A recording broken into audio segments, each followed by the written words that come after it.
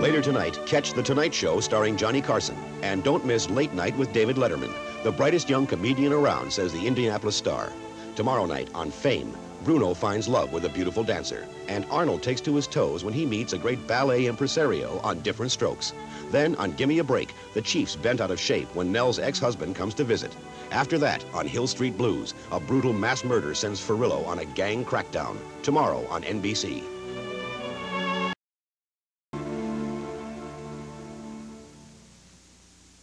On NBC Nightly News, Reagan and Black America. A full report tomorrow. Coming up next, the News 4 New York, a last desperate effort at the United Nations to head off a British invasion of the Falklands as the British launch a new attack. And a maneuver in Albany that could just deliver a veto-proof death penalty bill. A new one-a-day pill for arthritis, and Chuck will have a special report on frontiers for future Marco Polos. Well, I think Marco Polo was doing what he wanted to do.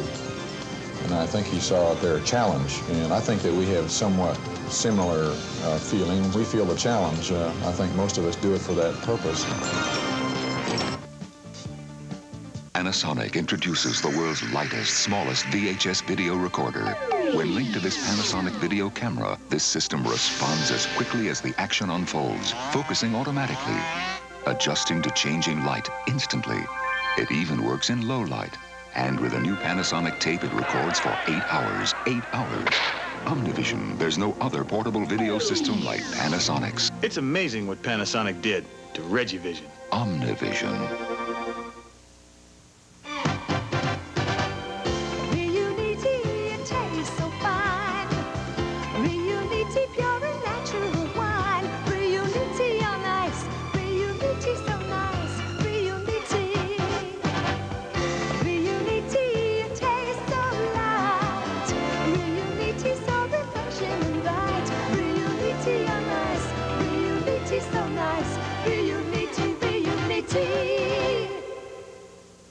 If you had a favorite airplane, this one's going to take its place.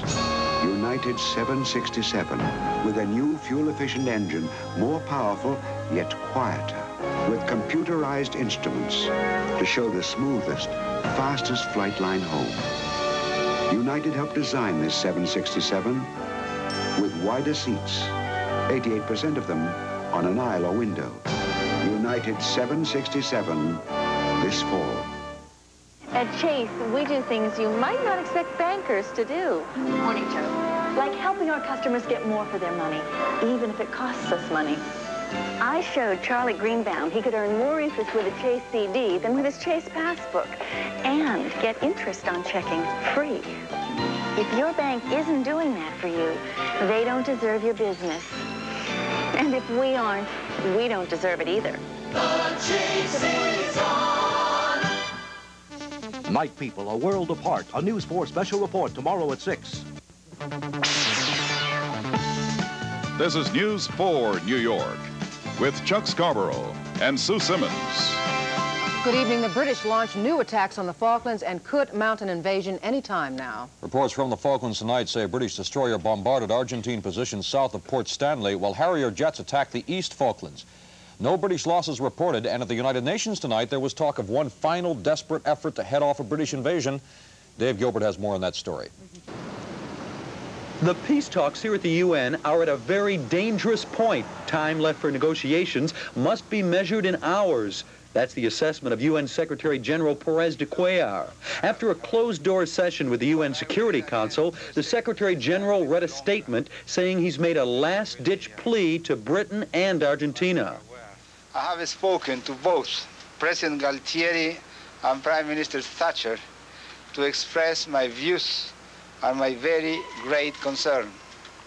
The cost of failure in terms of human lives and suffering is too high to permit me to give up my efforts.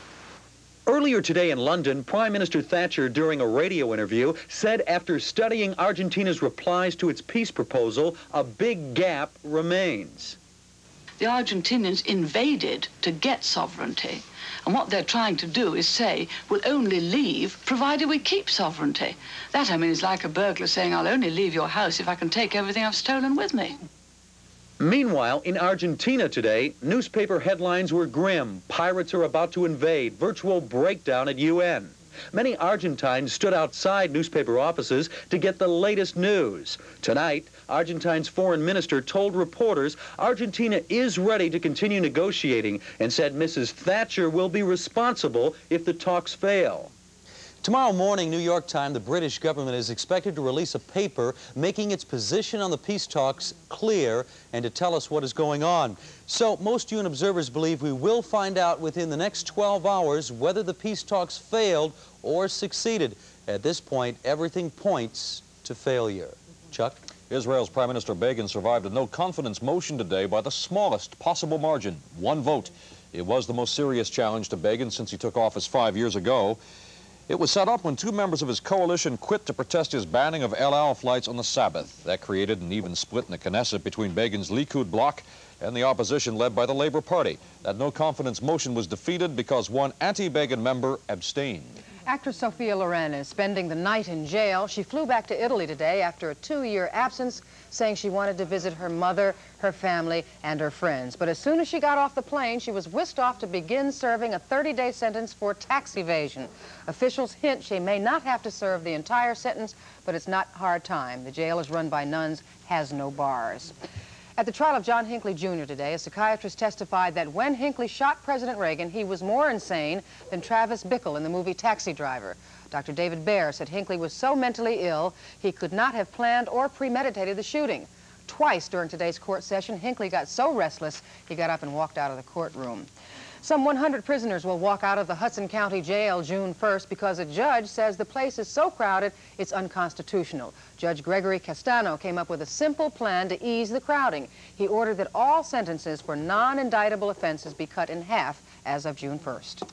Two years ago, a Queens Honor student named Steven Zwickert was shot dead as he returned home from his high school, from the prom. He apparently refused to give his class ring to some young toughs, and one of them shot him. Well, tonight, one of the suspects in that killing, 18-year-old Randolfo Maldonado, was found guilty of felony murder. He faces a prison term of 25 years to life. In Albany, the legislature put off debate on restoring the death penalty because sponsors of the bill have a new idea. They say the jury should have the option of calling for the death penalty or life in prison without parole. Gabe Pressman has more on this story. Could supporters of capital punishment muster the 100 votes they needed in the Assembly to override Governor Carey's expected veto? This was the basic question here today, transcending the familiar debate on the merits of capital punishment. But then there was a surprise development. This man, Assemblyman Steven Sanders of Manhattan, introduced an amendment to the capital punishment bill that this man, Vincent Graber of Erie, leader of the fight to enact the death penalty, liked. A bit difficult to understand since Sanders is against capital punishment. His amendment would give jurors the opportunity to choose either death or life imprisonment with no chance of getting out. Action on the proposed amendment was put off until next week. And Graber, who earlier had been very pessimistic about getting the 100 votes needed to override a Carey veto, now seems encouraged. I feel my position has been enhanced uh, by, uh, you know, uh, the opposition shooting himself in the foot. Uh, that's the way I, uh, I think that's the best connotation. In other words, you, you've gotten an unexpected gift from the people who are against the death penalty. Well, they opened up Pandora's box, and I was only too willing to walk in. I am not at all sure that uh, this amendment uh, would change uh, anybody's mind on the uh, on the bill itself. Did this come as a, as a great surprise to you? Yes. What do, what do you make of it? I mean, do you, do you think that this is... I think the people who were opposed to the death penalty were taking a, um, a gambit that backfired on them. The moral question for each assembly member remains, is it right for the state to take a life? And in a sense, this amendment offers a cop-out. It won't be the assembly members who will decide whether or not to impose capital punishment. The buck will be passed to each separate juror sitting in each separate trial. Gabe Pressman, News 4, Albany. And tonight, Governor Carey said that he will veto any bill restoring the death penalty with or without the option mentioned, as he has done in the past. A chilling development tonight in the Senate's investigation of Labor Secretary Raymond Donovan. A committee is looking into a supposed link between Donovan and the mob, and now a staff investigator on the Senate payroll has received two death threats. A former police officer in Roselle Park, New Jersey, Carl Sesteri, was indicted today on charges of aggravated manslaughter in the shooting death of a fellow officer at a party. It happened last month in Sesteri's home in Plainfield at a party to celebrate his resigning from the Roselle Park Police Force to join the Army. Today's indictment says Sesteri recklessly caused the death of John Mariarelli Jr. by using a firearm with extreme indifference to the value of human life. And in the Bronx today, two suspects in the bungled Brinks holdup in Rockland County, Donald Weems and Edward Joseph, were ordered held without bail in another Brinks holdup. It took place last June in Co-op City, the robbers getting away with nearly $300,000 after killing one guard. And Bernardine Dohrn of the Old Weather Underground was jailed today for contempt when she refused to give a sample of her handwriting to a grand jury. It is investigating a possible radical conspiracy involving the Rockland Brinks heist and other robberies. As News 4 New York continues, Islander Mania hits Long Island tonight as the fans parade through the streets celebrating the Stanley Cup victory. Marv will have the story of the Boston Philly NBA playoffs and more. And Chuck looks at some frontiers for future Marco Polos. Tonight, News 4 New York is sponsored by Piaget Watches and by Barney's. The Piaget Polo, rugged yet elegant. The Piaget Polo, water-resistant electronic quartz. Carved from a solid block of 18-karat gold, link by link. Handcrafted in La Côte Switzerland, the ultimate sports watch for dynamic people. The Piaget Polo. Available at Van Cleef & Arpels, 5th Avenue at 57th Street. Last year in New York, there were 200 nights at Lincoln Center to wear a tuxedo or evening dress from Barney's. 12 weekends of pro tennis for sportswear by Burberry and Aquascutum. Enough interviews to employ Hickey Freeman, Oxford, and Ralph Lauren. Even 79 days to make full use of Barney's Rainmaker Room. Truly, a men's and women's store like Barney's couldn't happen anyplace else but New York.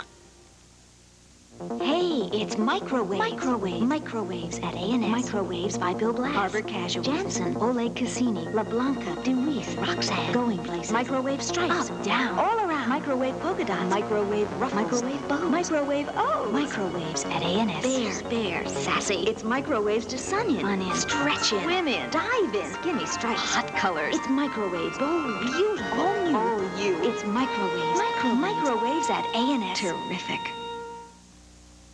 WRFM is your key to relaxation. Unwind with WRFM, FM 105. Well, on Long Island tonight, it was a time for celebration, a warm welcome home for some heroes off the ice. It was last Sunday in Vancouver. The Islanders beat the Canucks to sweep the championship series in four games and to win their third Stanley Cup in three years. Some 35,000 fans braved the drizzle tonight to line the parade route stretching four and a half miles into Uniondale. The team members and their wives riding in a flatbed truck heard an endless refrain of, We're number one, we're number one. The Islanders are indeed the first American-based team in the National Hockey League to win three Stanley Cups in a row. And Mike Bossy, voted the most valuable player in the playoffs, promised the team plans to keep right on winning in the future. And Clark Gillies added, we are celebrating tonight, and we'll never get tired of that. And the Boston Celtics know the feeling, don't they? Especially if they did pretty well without Nate Archibald, Marv. Yes, who said the Celtics were dead? You did, Marv. Right, Frank. I- Marv, wrong. They are very much alive in Boston tonight. The Celtics walloped the Sixers 114-85. This despite the absence of Tiny Archibald. So Philly now leads the series three games to two. It was not a night for the Sixers. Turnover City in the early going. Excellent defensive pressure by Boston all night long. And Robert Parish, who'd been having his problems, came back with a strong game at one point, seven of eight from the floor. He scored 26. Here is Parish again doing it on the follow. 15 of his 26 points in the first quarter, putting it away early. And Larry Bird hit for 20. A nice move here by Bird. Also had 19 rebounds. Celtics winning by 29. So there will be a game six in Philadelphia on Friday night. And Hubie Brown, who handled the color commentating on the Philly-Boston telecast, will be in New York tomorrow as Hubie and Dave DeBusschere will be officially named as the new coach and general manager tandem of the New York Knicks. Press conference tomorrow. Out at Shea tonight, the Mets made it eight out of the last 10, a record of 21 and 17. They beat Tom Seaver and the Reds by the score of 4 to 2. So Seaver is now one up and five down. And Dave Kingman got right to him in the first Kong with two on. It is number 13 of the season. He leads the major leagues. The Mets off to a 3 0 start. Kingman responding to baseball's newest tradition, the curtain call. And Tom Seaver added to his repertoire a folly floater. What is going on? But Dave Rasich did not go for it. Cincinnati offense tonight. Dan Driessen with two home runs. This with one out in the ninth inning, but that was it against former Red Pat Zachary. He went all the way on a seven-hitter, making the move successfully out of the bullpen. Zachary now three up and one down. Mets four, Reds two. Mets playing good baseball. Out in Kansas City, the Yankees closing out their road trip, and they have just defeated the Royals by the score of three to two. Graig Nettles, who returned to the lineup last night with this RBI single in the second. Barry Foote coming around a score, and the Yankees take a one-nothing lead on the Royals. Now in the fourth, some Billy Ball baseball. Nettles stealing second. Graig with the green light,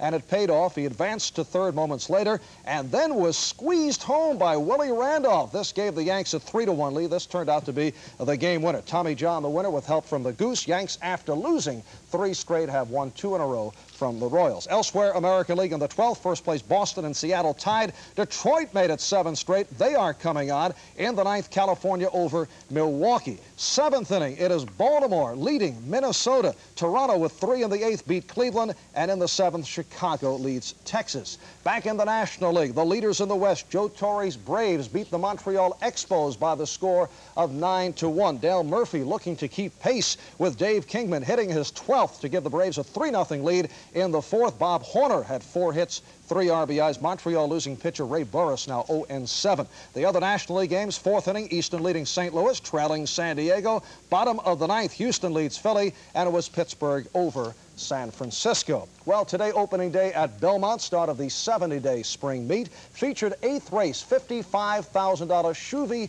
handicap. Proved to be merely a workout for the winner, number one, Anti-Lib, with Jacinto Vasquez. Anti-Lib winning by eight lengths. No one else in sight, paying $8.40 to win number two. Tina Tina 2 finished second. And out in Portland, they're in the first half. The Cosmos trailing the surprising Portland Timbers 2-zip. John Bain of Portland splitting the defense to beat the Cosmo goalie Hubert Birkenmeier. That made it 1-0. It is now 2-0 Cosmos trailing. And still nothing to report on the proposed move of the Colorado Rockies to the Meadowlands. The NHL Board of Governors could not reach agreement again today.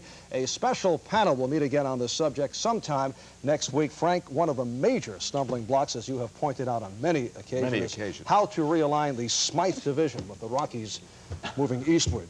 You may have a, uh, a suggestion, but we'll get to that Get at a a later date. Yes. That's sports. Much later. Yes. Thank you, Mark.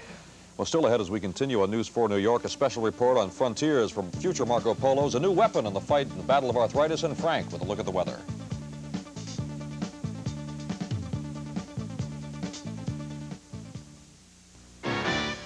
Toyota dealers in this area are receiving their biggest deliveries of 82 Toyotas ever. A fresh inventory of 25,000 quality-built Toyota cars and trucks. It's special delivery days. Now could be your best chance to buy the Toyota you want equipped the way you want without waiting. Special deliveries of Toyota Corollas, Celicas, Starlets, Tercels, trucks. It's a Toyota buyer's market, and your Toyota dealer wants to deal. Look for this sign at participating Toyota dealers. Let's go! Tonight, the sports report is sponsored by Toyota Dealers.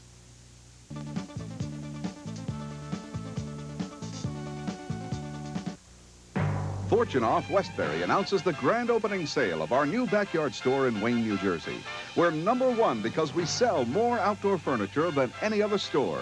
Fortunoff sells more $360 redwood seating groups for only $180 than anyone else. We sell more $100 Finkel and Sun Air umbrellas for only $50 than anyone else. It's the grand opening sale of outdoor furniture at Fortunoff Westbury and now Wayne, New Jersey. If you run a sizable growing company in New York, question, can you ever get to see the president of your bank? We're not in Fortune's 500. This is New York, not Podunk. I doubt my bank officer gets to see him. If you're missing that, follow me to Sterling Bank. At Sterling, when a business like yours has business to discuss, the doors are open all the way to the top. You can see the president or the chairman. We wouldn't have it any other way. Sterling Bank, where the medium-sized company never feels small. At Fortunoff Westbury, this week is luggage sale week. Our entire stock is on sale. Many are half price. Famous names like American Tourister and Verdi in nylons and vinyls, all on sale. $20 totes on sale at $7. $50 Pullmans are now $15. Fortunoff's Jumbo Pullmans on wheels, originally $60, now $24. And if you buy this four-piece set, you'll get this weekender free. This week is luggage sale week at Fortunoff Westbury, the only store of its kind. For a limited time, France's best-loved champagne, Moet, is available at specially reduced prices for the holidays. Some potential good news for arthritis sufferers. The Eli Lilly Drug Company announced today it has a one-a-day pill that can reduce the symptoms of both rheumatoid and osteoarthritis. The pill is called Oraflex, and it seems to have few side effects, but it won't be made available to the public until after a three-year test on 1,600 patients. I hope it works out okay. Yeah, what we have available right now is a terrific weather forecast. I May not be think, good weather, I but think it's always that a pill is forecast. available now, but they're doing a three-year test to follow up. Well, I mean, can you get it? Sure. Oh, okay. You can also get the weather if you want. Oh, That's- okay. I can want it. It is 73 degrees. The high today was 74. The relative humidity is 76%. The wind is south. It is 11 miles an hour, and the barometer is steady. Our satellite photograph um, indicated that this very humid air was moving our way. We were expecting showers and thunderstorms. Uh, yesterday, widely scattered showers over the eastern half of the country. Note how that big area of clouds and low pressure drifted eastward. So the result is a line of showers and thunderstorms. Bridgeport just had a thunderstorm in the last hour, and there are scattered showers all around the city. So over the next few hours, still some more showers in store for us. But as the low deepens and moves off into the east, behind us some cooler, drier air, and that will come in on Friday, which means that at least for the next 24 hours, moist southwesterly winds will prevail, and that means another sticky day tomorrow, another chance of widely scattered showers and thunderstorms once again forming, and they could hit anywhere in the tri-state area. Our forecast for the metropolitan area for tonight, cloudy skies. There are some scattered showers and thunderstorms still about. Fog developing during the morning hours, low temperatures in the 60s here in the city. For tomorrow, again, a glimpse of sun through the clouds and hazy, warm and sticky, and a high temperature of 82 degrees here in the city. Again, during the afternoon and evening, scattered showers and thunderstorms will pop up, and they will be roaming around. And then after that, we go to the clearing trend. So for Thursday, variable cloudiness, 82 degrees, a chance of scattered showers and thunder showers. For Friday, fair, less humid, drier air will move in a high of 75, and that starts us off with a nice weekend, Marv. Saturday, mostly fair. Temperatures in the mid-70s. For Sunday, partly cloudy. Temperatures in the mid-70s, and Monday, mostly fair skies. So just bear with us another 24 hours, will you, Sue? I don't think so, Frank. I'm sorry. No. I'll do it. What the heck, Frank? You need a friend, don't you? Still ahead.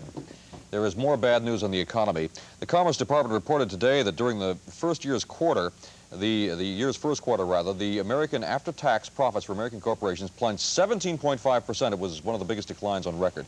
And some bad news also today for 40 executives of the Daily News. They were told their jobs are being eliminated as part of the cost-cutting effort to keep the paper in business.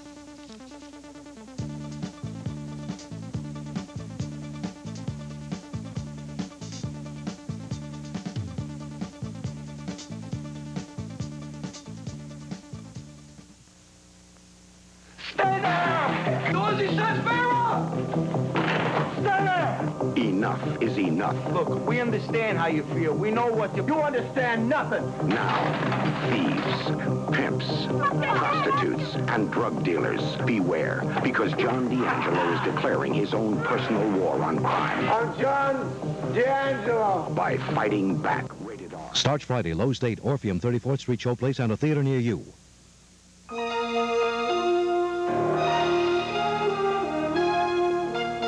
Keeping fit has become an American passion.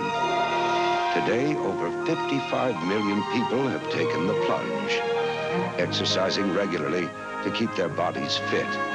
Well, for all those people who keep their bodies in shape, Calvin Klein brings you something beautiful to slip those bodies into. Calvin Klein Activewear.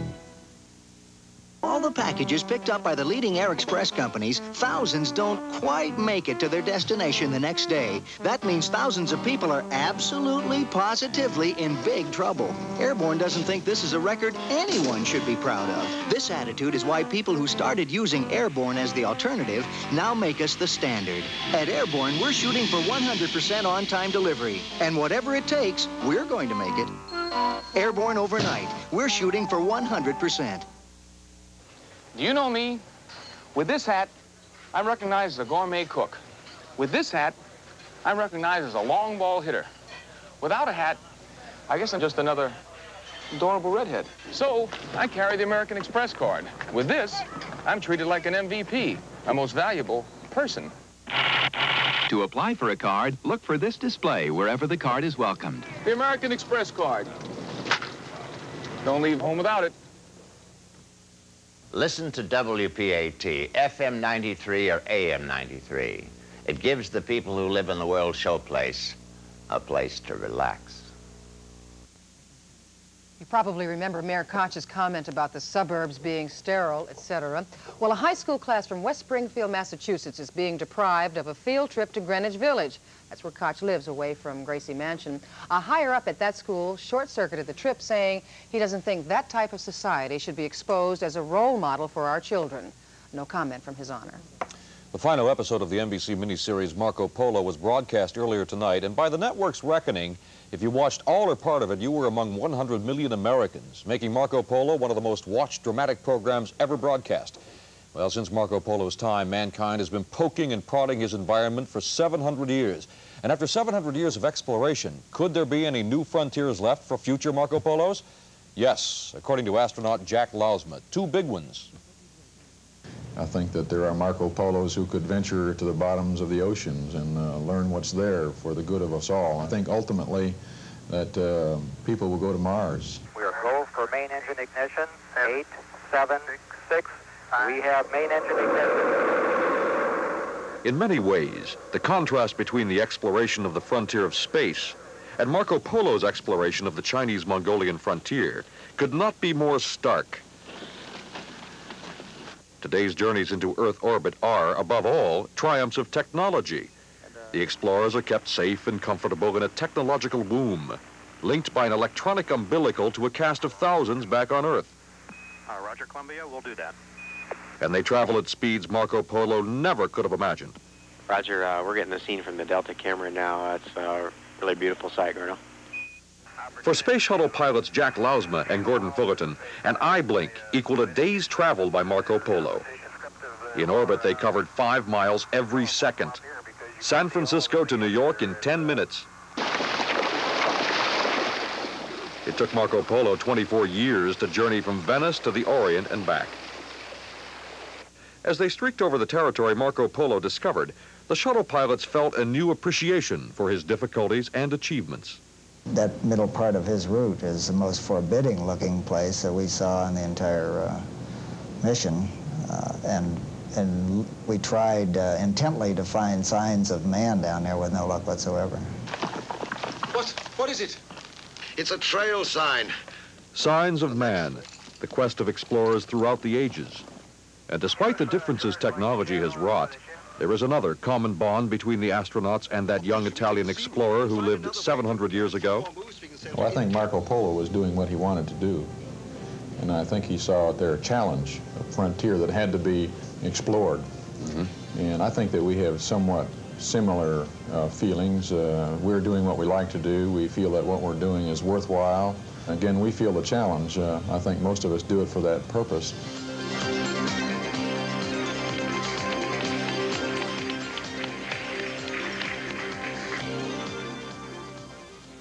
Francisco to New York in 10 minutes? 10 minutes. Hard to believe, isn't it? Whoa. It'd be nice to be able to do it, though. Certainly would. Yeah. That's our news for tonight. Thank you very much for watching. Good night.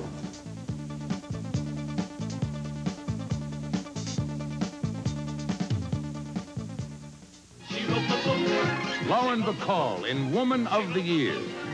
Also starring Harry Guardino. The British way. It means the way we care for you, both in the air and once you're here. It means double-decker buses, royal coaches, or a rental coach of your own. British Airways will arrange it at low rates. The British way means friendly inns, jolly country pubs, and a comfortable bed at a very comfortable price.